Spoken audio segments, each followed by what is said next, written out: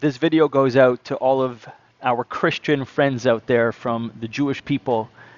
As you can imagine right now, with the situation, what's going on in Israel after the horrific attacks on October 7th, and after you see all these parades going on of celebration from Hamas supporters, you could imagine how the Jewish people feel not so supported right now. But I got to tell you, our Christian friends have been so amazing, so loving, so embracing, so supportive. And really, our people have always shared a common value system known as the Judeo Christian values. And there's a reason why that has been a saying and a phrase for so long, is because we do share so many commonalities amongst each other. And I want to share with you um, in this class today. And please stay until the end because a whole bunch of blessings are coming your way. And I want you to know about all of them and how to get them and how to receive them and why you're getting them. And uh, we're going to explore today from the Torah, from the Old Testament. We're going to be reading in Hebrew a little bit today. I'm going to be reading in Hebrew and translating for you so you can know exactly uh, what is going on behind the scenes in heaven and uh, and exactly you know how we could benefit from this whole thing. So let's just jump right into it. Um, I want to also just mention that there's a concept in Judaism which is called living with the times. So we take the Torah, again, also known as the Old Testament, the Bible, and we split the Torah up into each week has its own what's called Parsha, which is the chapter for that week. And this week we're learning Parsha. It's called Lech Lecha. It's in the book of uh, Genesis, and it is the first time where we're being introduced to the uh, first Jewish person in the world, which is Abraham in Hebrew, Avraham. And he is the person who brought monotheism to the world. All the great religions of the world are all based on the work that Abraham did. And we see something very unique in this week's Parsha. It says, and I'm gonna again I'm gonna read the Hebrew. The Secha Lagoy Gadol, and Hashem, God says to Abraham, I'm going to make you into a great nation. And I'm going to bless you. And I'm going to make your name great in this world. bracha, and you will become a blessing to all the nations. And here's where it gets interesting for our Christian friends. By the way, it doesn't just apply to Christians, it really applies to anybody.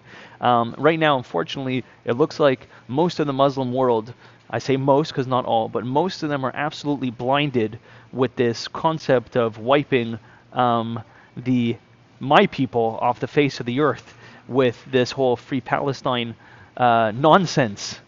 And it looks like they are in the heat of the moment and blinded and they just can't understand this. So for now, I'm talking to our Christian friends. Hopefully, eventually the Muslims will come around and hopefully everybody else will come around. But for now, I'm talking to you. Okay, so it says, Va'avcha mevarechecha umakalelecha aor v'nivrachu becha kol mishpachot adama. God says to Abraham, I will bless those who bless you, and the ones who curse you, I will curse. And all the families of the earth will be blessed through you. And that's really what I want to focus on in today's class is Hashem says, God says to the, Hashem is the Hebrew word for uh, God's name. Um, it literally means the name. God says to Abraham, I will bless the nations. Anybody who blesses you, I will bless. And anybody who curses you, I will curse. We're going to talk about the blessings in just a moment, but let's talk about the cursing for one second, okay? Because we have to go there. I know you know everybody wants to be kumbaya and everything you know is is liberal and everybody's friends and everything but let's just talk for a second about the curses if you look at history of the world.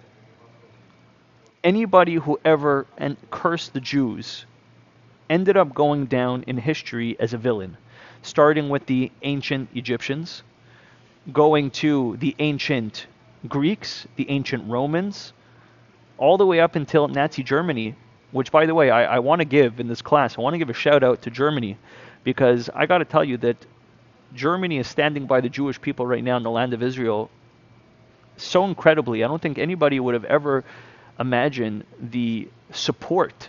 Could you imagine a people, Germans, you know, in Judaism, we believe that a person could do in Hebrew what's called teshuvah, which means they could repent, they could return.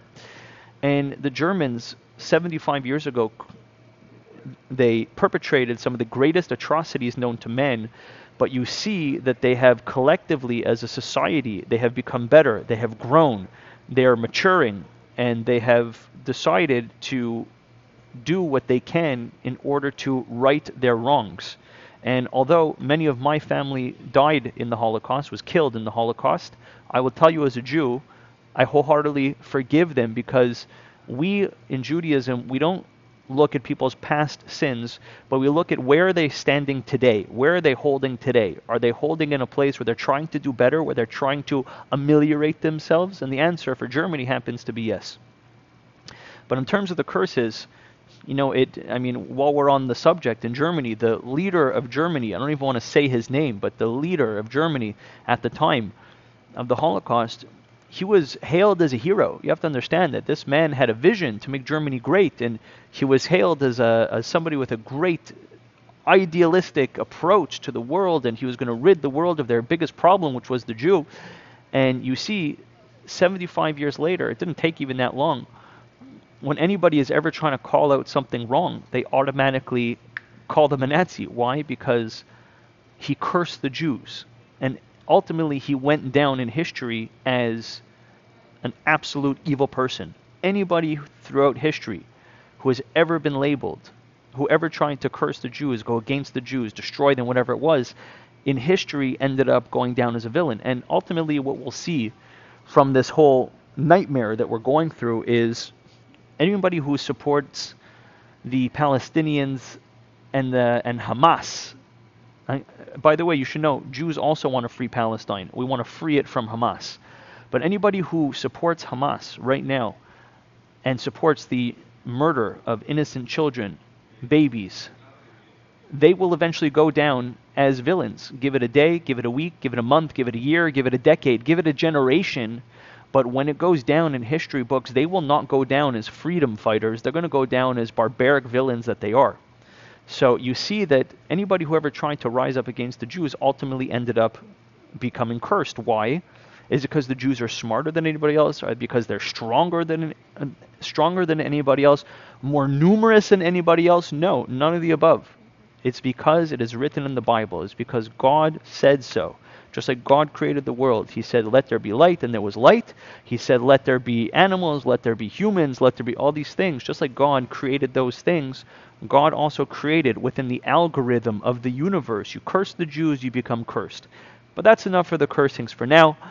Let's talk about the blessings that people will receive. Nations, people, individual people, and also nations will receive from blessing the Jewish people.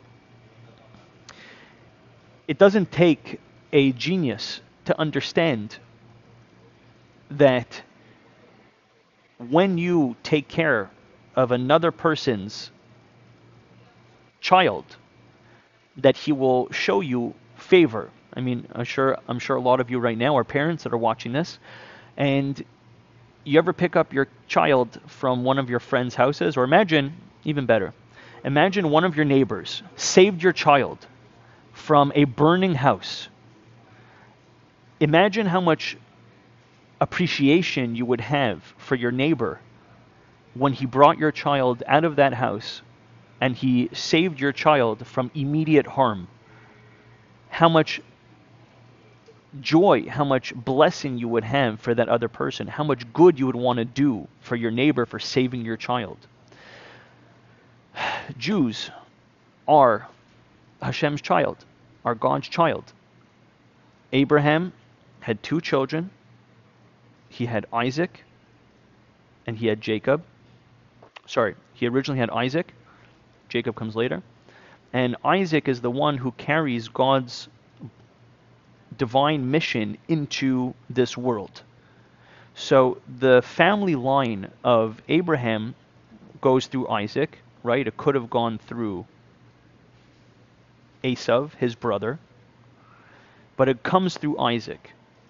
And when you take care of God's, for whatever reason, you know, sometimes we ask, Jews say, couldn't God choose somebody else for once? Meaning, we didn't, we didn't choose to be chosen, we didn't ask to be chosen, it's not our choice.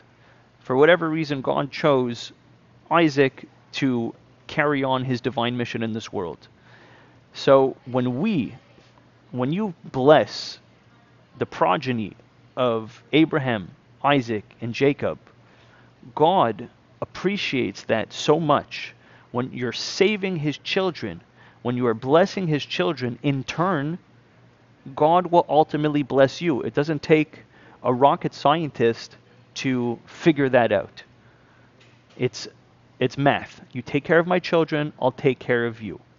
And that's the message that I want to give to our Christian friends who might be watching this right now, or anybody else for that matter, that we, we see you, we appreciate you, we embrace you, and not only do we see you, but God Himself sees your efforts, God Himself sees your blessings, and ultimately He will bless you. And a, a lot of people have been asking me, you know, am I scared? I'm scared. I'm an Orthodox, visibly Jewish man, and people ask me, am I scared? Am I scared for Israel? Am I scared for the, God forbid, for the annihilation of our people? And I got to tell you, there and the answer is absolutely 0% am I scared. Because God, at the end of the day, is more powerful than any stupid protest. God is stronger than any of the anti Semitism that is rising right now. God ultimately has a mission in this world, a divine mission, and God's mission will be seen until the end. And they say that in the end it will be good.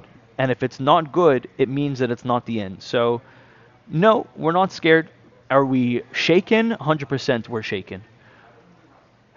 Are we fragile right now? Are we in mourning? 100%. Are we scared? At the end of the day, we are believers, sons of believers, and our faith holds us. And we know ultimately that good wins over bad, light wins over dark every single time. We've seen it played out. We've seen it played out hundreds of times over Jewish history. And ultimately, the ones that sided and supported the Jewish people, they themselves in turn got blessed by the creator of the universe themselves. So I want to thank you for that. Also, I want to just throw this out there that I am open to speak to any religious congregation, any Christian congregation. I'm happy to do it via Zoom. I'm happy to do it via Instagram or whatever it is. And I will do it free of charge to give strength, to give hope, to, to create understanding and education, and ultimately uh, do what we all want, which is to see the third temple built in Jerusalem where we could all serve God as one people, where there's not going to be any more war, there's not going to be any more hunger, there's not going to be any more strife, and godliness will be revealed in this world with the coming of the Messiah, of the Mashiach. God bless you. Thank you for being a friend. Thank you for being our family. And uh, we hope to hear good news soon. God bless. Take care.